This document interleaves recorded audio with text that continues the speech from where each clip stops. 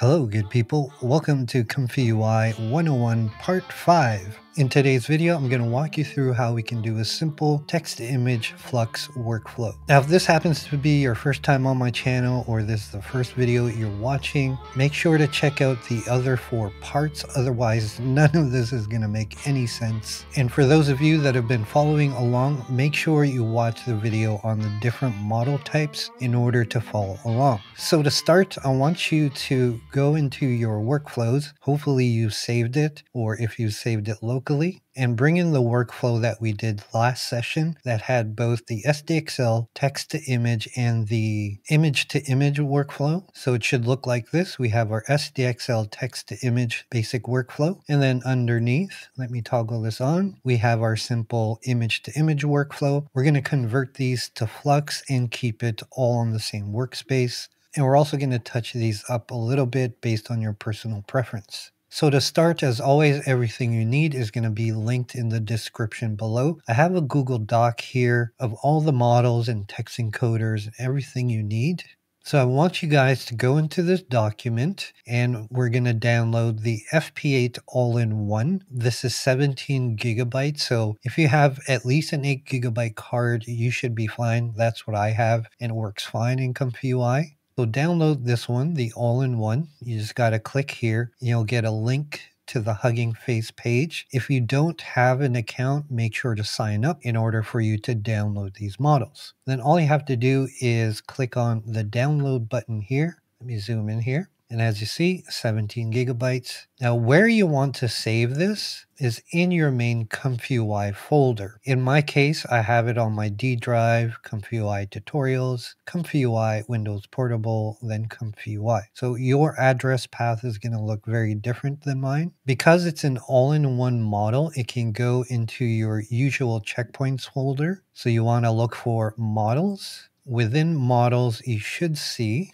a folder here called checkpoints. Okay, so go ahead and save it in there. And then the other model I want you to download is the FP8 UNet version, which is this one that requires you to load the VAE and text encoders. And don't worry if you don't need these models after, you can delete them. So we'll go ahead and click on this same thing. And you'll notice that this one is only 12 gigabytes, well, just under. So go ahead once again, download this. Now, this model won't go into our checkpoints. In our models folder, there is a folder called UNet. Okay, so we want to open that one up and save it within the UNet folder. You see, I've got my FP8 one right here. And then lastly, we're going to download one of the GGUF models. So go ahead and open this link up and again, based on your system, you want to download one of these Q models. I suggest anywhere from Q4 to Q8. Even on my card, I can run the Q8 fine. It's just the loading times are a little slow, even at 12 gigabytes. But if you're a little skeptical and you want to keep things nice and small, I suggest this one, the Q4KS version. You can click on the arrow here and download it from here. And we also want to download the GGUF models in the UNet folder. Now we also need the text encoder. So if we scroll down towards the middle here, you see there's a section for text encoders. Go ahead and open up the first one here. And depending on your system, you can download the FP16 or FP8. Just be aware the FP16 is 9.79 gigabytes, where the FP8 is only 4.89.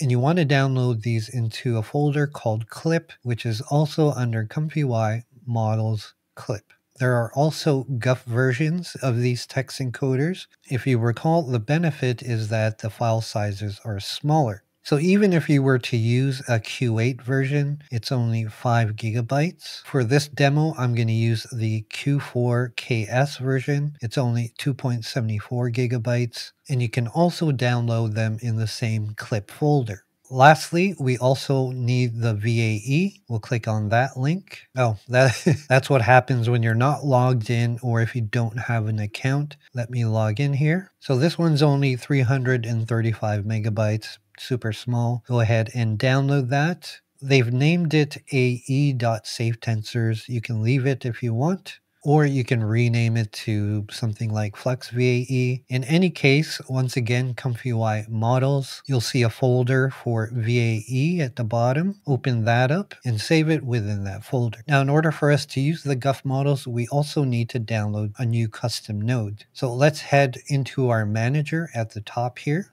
go to custom nodes manager and there are two custom nodes that I want you guys to install. The first one is ComfyUI GGUF. You just gotta put it in your search box and then ComfyUI Essentials. Click on the checkboxes here and click on Install, reset ComfyUI, relaunch, and let's get started. Let's go ahead and copy everything. We're going to hold Control Alt, select everything. It does not pick up the background here, so we're going to hold Control again. Click on that, make sure you see the highlight and we're just simply going to hit control C. Let's go over to this side. Wherever your mouse is, once you hit Control V to paste, it's going to paste it in that area. And yes, copy the bypass node too. And then we're just going to fix it here. And let's zoom in and change this to flux generation or flux text image. It's really up to you what you want to call it. And you see in our bypass switch, we now have enable flux generation. Now let's make sure to turn off the SDXL ones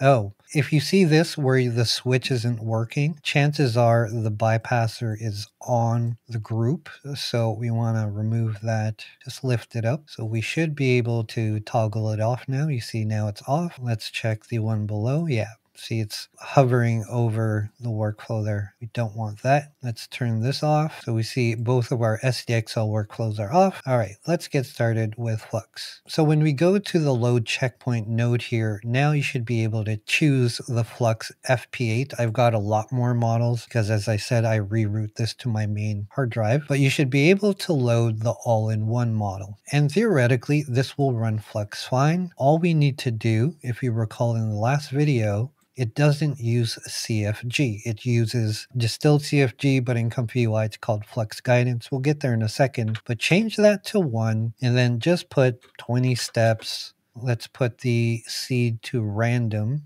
So sampler name, we want Euler, scheduler, beta. Let's just go ahead and run that. And you're going to find that even with this basic workflow that we did for SDXL, we can still use it to run a simple flux generation. By the way, if your LoRa loader is on, make sure to toggle it off. And as you can see, we ran the generation fine. However, with Flux, as I mentioned, it doesn't use CFG. So what we're going to do is we're going to add distilled CFG, or in this case, in ComfyUI, it's called Flux Guidance. So anywhere on the workspace, go ahead and right click, add node under advanced and conditioning you're going to see a section for Flux. Let's click on that. Right below, you see Flux Guidance. This is going to be our distilled CFG in ComfyUI. It's called Flux Guidance. You'll notice it's got two conditioning inputs, okay? So let's use our brains. It needs two conditioning inputs. So we have a conditioning input here, and then the other one here is in positive. So we have to put it in between. We're going to have to move our workflow a little bit around. I'm just going to stretch out the corner here, and we're going to make some space. Again, you can arrange this any way you want. I like to keep it linear until I'm done with the workflow, and then I do a little rearranging.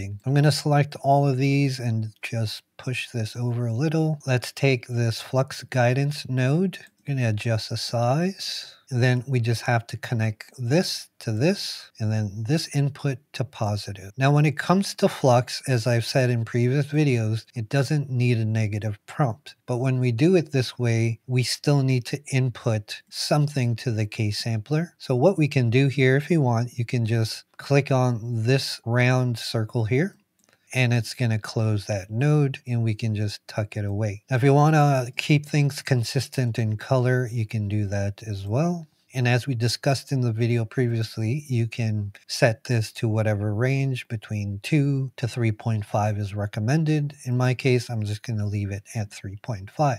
Now that's one way we can do this. The second way, we can combine these two nodes by using a flux clip text encoder. So let's again go anywhere on the workspace, right click, add node, advanced, conditioning, flux, and then select clip text encoder flux. Now, if we look at this node, it's got two places where we can prompt You'll notice it says clip L here and T5XXL. These are two different styles of prompting. I'm not going to go heavily into it, but basically the way SDXL used to prompt is called a Booru style prompting. So it's like tagging, woman wearing a dress, comma, walking in the street, comma, sunset lighting, comma. That's how most of us learned how to prompt. With the T5 text encoder, it accepts more natural language. So that same prompt, you could put woman wearing a dress walking down the street in the city at sunset. So that's the general idea of this. Now we can just put the prompt in the T5 section and be done with it.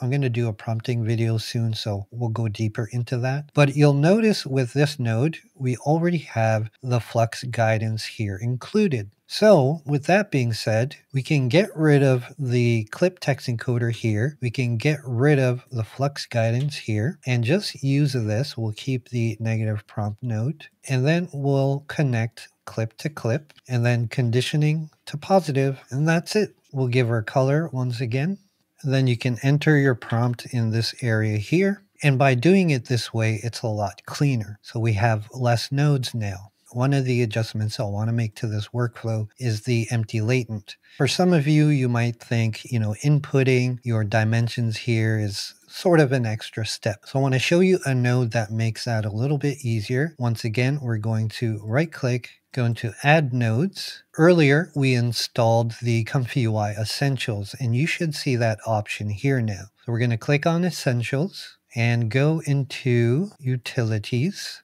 and then you should see this one called empty latent size picker. So what the size picker is, it's still the empty latent, but we have pre-made sizes that we can select from.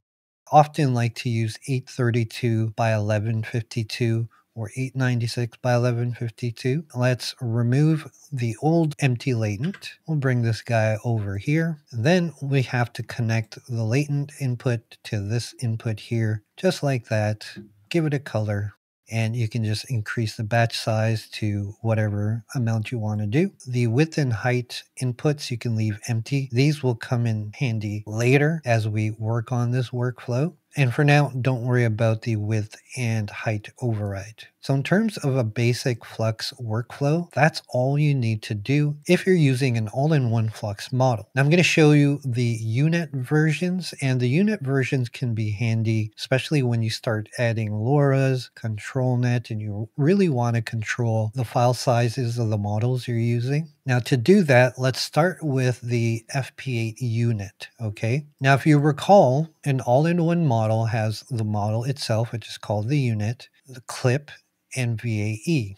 So what we'll need to do, let's get rid of this. So once again, we're going to right click, add node. This time we're going to go into advanced loaders and you'll see load diffusion model and dual clip loader. So let's select both of those. I'll go in once again here.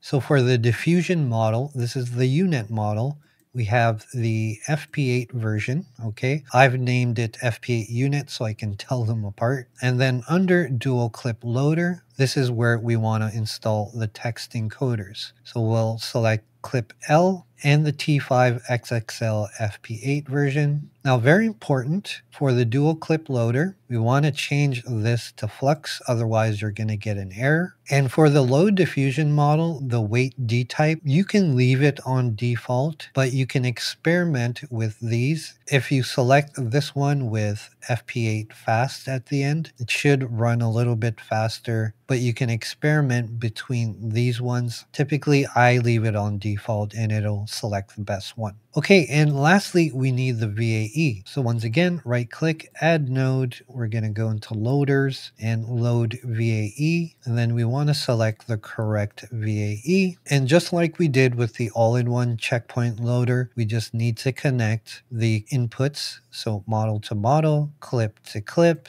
and then VAE is way over here. We're going to connect that And I think you know by now how uh, particular I am about these noodles. So I'm going to just arrange them by holding Alt on these points. There we go. And then let's uh, change the color just to keep things consistent.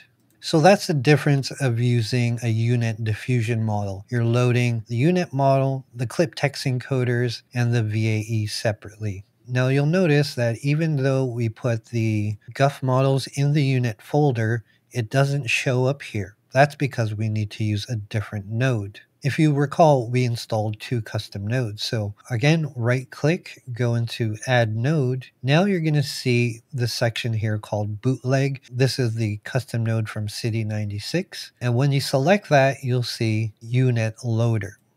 This U-Net loader is basically the same thing as this node, but the format is different. It accepts the GGUF format.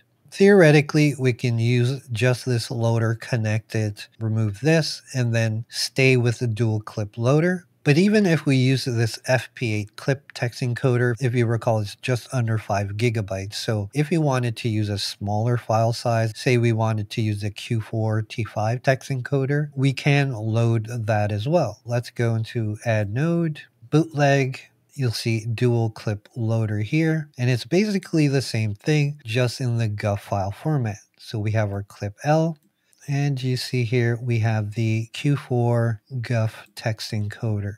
So the same thing, we can just delete these, bring these over.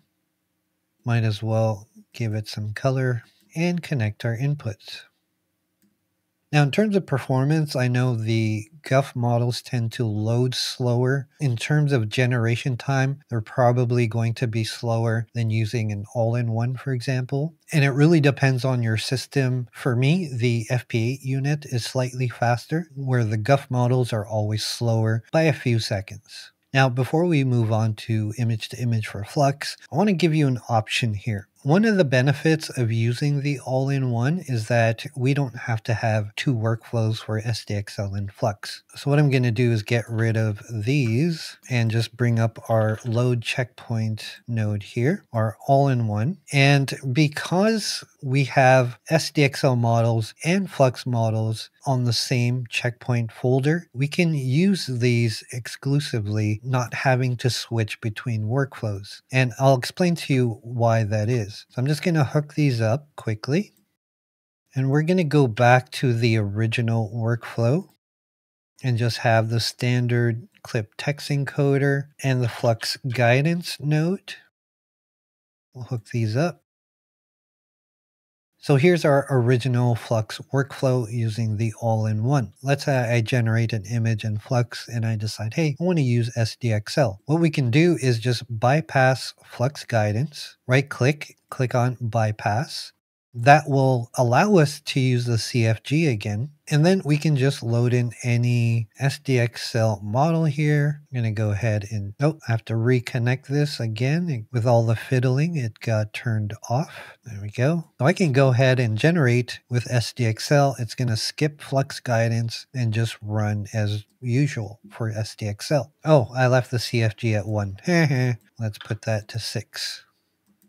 Much better it's really up to you the kind of workflow you're doing. Again, as we progress in this series and we start to do control nets and add more complex stuff, maybe it's better to use the U-Net models in terms of saving system resources. But for regular generation, if your system can handle the all-in-one checkpoints, personally, I find this more easier and efficient to do. And then whenever I want to use Flux, I just have to turn on the Flux guidance bring the CFG back to 1, and I'm ready to go with Flux.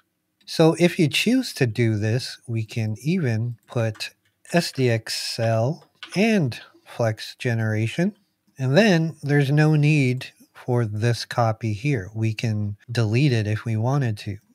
Just bring everything over. So now we have one section for both SDXL and Flux standard generation.